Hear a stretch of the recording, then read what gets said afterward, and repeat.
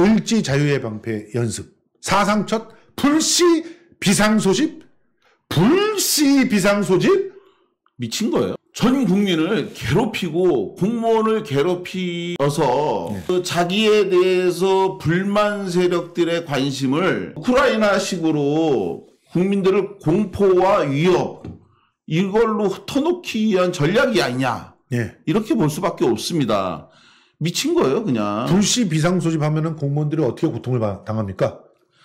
경험해보지 않은 사람은 느끼지 못합니다. 아, 그러니까 경험해 보신 분이 얘기해 주세요. 자, 일단 남자라면 다 아시는 네. 뜬금없는 민방위. 네. 이거는 뭐 다 아시잖아요. 그렇죠. 아이씨 무슨 새벽에 뜬금없이 아파트에 사는 사람들은 경비실에 가갖고 체크해야 되는 거고 우리 초등학교 주변에 가갖고 예 뜬금없이 가서 줄 서야 되는 거 경험해 보셨잖아요. 그럼요. 예.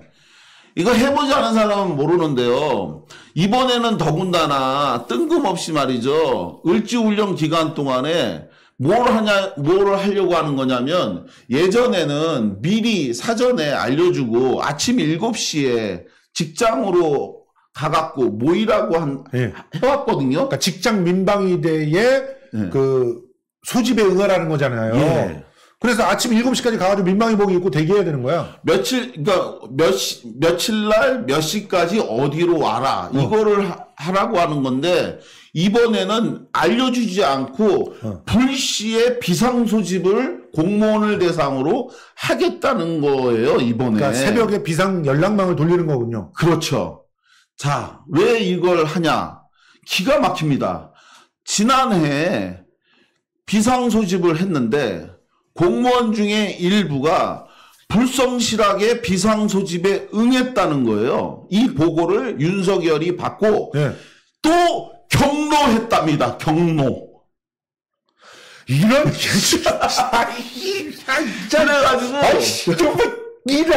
일을. 와. 아니 뭐 이렇게 자꾸 경로해? 아 경로하려면은 김건희한테 경로하든지 그래가지고 경로가 취미야? 이런 그래, 씨. 아니 근데 왜 국민한테 경로하고 그럼 아나 정말 그래가지고 이번에 야 이번에는 알려주지 말고 불시에 새벽에 비상소집을 해갖고 불시에 비상소집을 시켜라 이건요 아 정말 이 사람이 국민과 공무원을 괴롭히려고 작정을 한 거고요 사람들을 괴롭히려고 하는 거예요 지금 아이 말이 안 돼 지금.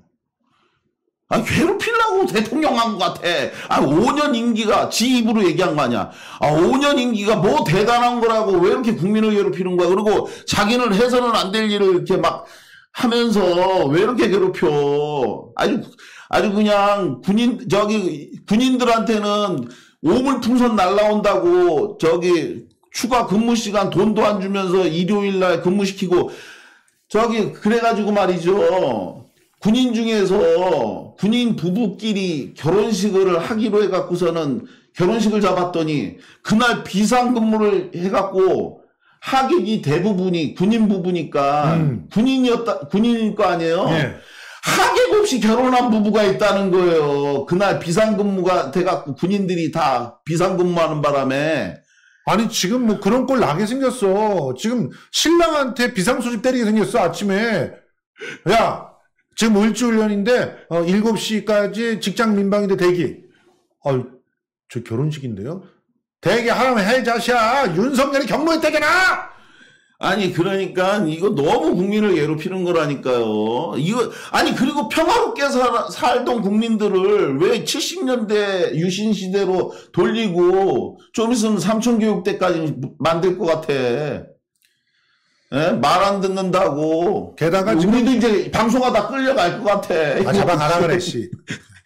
어? 6년 만에 전방에서 K9 자주포 쏜대요. 미친 거야. 전쟁이 지금 미국에서는 막 예, 거예요. 미국에서는 아예 전쟁 못하게 한다고 유엔 사령관이 경고도 주고 그랬지 않습니까? 미 국방부에서도 얘기하고 지금 미국이 바이든이 쫓겨나게 생겼잖아요, 지금. 쫓겨나는 거예요 지금. 그렇죠? 쫓겨나는 거라니까. 지금 이런 상황이야. 이든이 형이 쫓겨나, 이 자식아. 바이든 너 성렬이 너 큰일 났어, 이제. 아, 얼- 얼마- 트럼프 형하고 오면은 너는 완전 조인트 까이고 작, 작살나는 거야, 자자. 러시아에 네가 어떻게 했니? 어? 트럼프 형이랑 친한데 푸틴이랑. 트럼프한테 바이든 날면식으로 까불다가 맞아주고. 아, 나는 트럼프를 싫어하는데 그 꼴 한번 보고 싶어. 어? 트럼프 앞에서 비굴하게 그냥 윽 하고 이렇게 술 뱉는 장면 이런 거 한번 보고 어? 싶어. 트럼프한테 어? 트럼프 트, 뭐 트림 뭐 이런 식으로 까불다가 맞아주고 그러니까 어? 트림을 했네 트럼프 뭐 어쩌고 했다가 맞아 죽는다니까. 지금 있잖아요. 여러분 이 상황을 정확히 아셔야 돼요. 지금 미국은 경고를 했어요. 국지전이라도 벌어질 수 있을 만한 그 어떤 도발행위 하지 말라고. 그리고 그런 미국의 경고와 또 그 기본적으로 유엔 사령관의 경고 등등을 어, 미뤄 보면 우리는 전시 작전권이 없기 때문에 독자적으로 전쟁을 수행할 수가 없습니다. 전쟁을 시작할 수도 없어요. 그럼요. 어, 그런데 K9 9 자주포를 쏘고 갑자기 비상 소집 대기한다는 건 그냥 국민들 괴롭히는 거야. 저러다 전쟁 나면 우리 도움도 못 받아요. 우리가 정전 위반 협정을 한 거기 때문에 그렇습니다. 정전 협정 위반을 한 거기 때문에 우리가 도움을 받을 수도 없고 그리고 저기 유엔 사령부나 이쪽으로부터 경고도 받고 있는 상황이에요. 이런 거 하지 말라고 자꾸 북한 자극하지 말라고 그런데 자기네가 잘못해갖고 국민들의 불만이 높아지니까 우크라이나가 바로 그런 거였거든요. 이 젤렌스키가 예, 저기 이 코미디언 출신의 젤렌스키가 우크라이나에서 저 하지 말아야 될 이러저러한 부분들에 대해서 위기 의식이 있으니까 나토와 관련해서 무리하게 일을 추진하고 이렇게 하다가 결국 전쟁이 났는데 사실은 지금은 많이 알려진 거 아닙니까? 전쟁 나서 부자가 된 건 젤렌스키고요. 예. 그리고 지지율이 뭐 90% 때까지 전쟁 중에 올라갔고 그리고 대통령 선거를 해야 되는데 전쟁 중이라고 해서 저기 대통령 선거도 하지 않고 계속 독재자야 완전 독재자. 지금 그런 상태에서 지금 현재는 어떻게 됐습니까? 60대 60이 다 된 사람까지 강제 징집을 하는 상황이 네. 되니까 국민들이 다 지금 주변국으로 도망가고 있는 상황이에요. 예. 이런 상황입니다, 여러분. 우리도 그렇게 돼. 태극기 할배들 나가서 싸울 거야? 지금 이게 지금 윤석열은 부러운 상황이 되니까 겁나 상황을 점점 점점 음. 전쟁의 위기 국면으로 몰아가면서 국민들에게 어 남북 대결 대결, 대결 국면이니까 자꾸 어 저기 위기 의식을 가져라 이렇게 몰아가려고 의도적으로 지금 이러는 게 아니야 그런 상황이기 때문에 정진석이 어저께 바로 국회 가서 북한이 보고 있다 이 발언을 의도적으로 한 게 아니냐 저는 맞아요. 이 생각이 든 겁니다. 맞습니다. 지금 이렇게 그, 어, 공무원 길들이기를 하고 있는 거잖아요, 사실은. 아유 지금 분명하죠. 안 서고 공무원들이 정말 복지부동으로 나는 진짜 책임질 일 안 하겠습니다. 이러니까 맞습니다. 이짐에 하는 거야, 이짐에. 공무원들은요 이런 상황 딱 벌어지면요 바짝 엎드립니다. 그렇죠. 예, 바짝 엎드려요. 공무원 저도 20년 가까이 생활을 해봐서 아는데요. 지금 불시 비상 저기 소집 이런 단어 나오면요 벌써 공직 사회는요 바짝 뭐 긴장하죠. 바로 그걸 노리는 거죠. 예. 자, 예, 지금 이 심각해지는 그 전쟁 위험. 근데 실제로 전쟁을 하지는 못하고 이거 자주포 쏘다가 저쪽에서 사격 들어오잖아요. 그러면은 우리만 피해를 입고 대응 사격 못해요. 대응 사격 못하게 막을 겁니다. 그러니까 겁나 두드려 맞고 아무것도 못하는 그런 상황이 벌어지는데 그러면 또 그럴 거예요. 여기서 누가 피해됐다 그러면서 지네들이 오히려 장례식 이용해가지고 어 국가 뭐그그 공식 무슨 어 장례 기간 이런 거 설정해가지고 지지율 떨어지는 걸 막아보려고 그럴 거예요. 그런 것밖에 할 줄 몰라요. 연평도 포격 사건 여러분 기억하시죠? 그때도 어떻게 됐는 줄 아십니까? 가가지고 보온병 조각 그 들고 그냥 이게 포탄입니다. 그러면서 더 심각한 상황은요, 연평도 포격 때 북한에서 포격이 날라와서 우리 민간인과 장병이 목숨을 잃는 잃었죠. 비극적 참사가 일어났잖아요.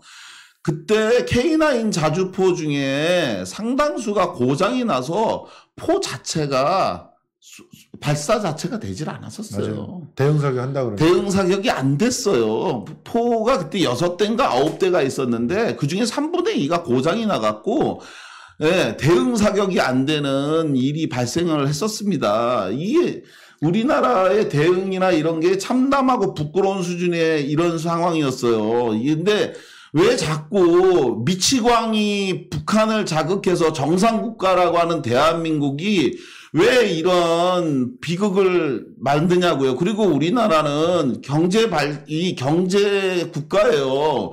우리나라가 왜 전쟁으로 자꾸 상황을 몰아가고 그리고 그렇게 해서 얻을 수 있는 이득이 뭐가 있습니까? 우리는 평화롭게 살아야 됩니다. 우리는 경제 발전을 통해서 안정적으로 살아야지 우리가 왜 전쟁을 하냐고요. 하여튼 그때 재미난 우스개가 있었잖아요. K9 안, 대속포가 안상수가 한 거예요, 가서. 그 다섯 개 중에서 음. 두 개만 쐈다 뭐 이런 얘기가 나와서 여섯 대인가? 아, 여섯 대인가? 뭐 하여간 네 대, 그러니까 아홉 대인데 여섯 대가 고장이 났나? 아 맞아? 아홉 대인데 뭐 여섯 대가 고장 났다 뭐 이런 얘기도 예. 있었잖아요. 어쨌든 그래서 나머지 포병들은 뭐 했을까? 어, 입으로 소리를 냈을 거야. 이런 얘기를 했어. 빵빵! 이러면서 아, 자 그러니까.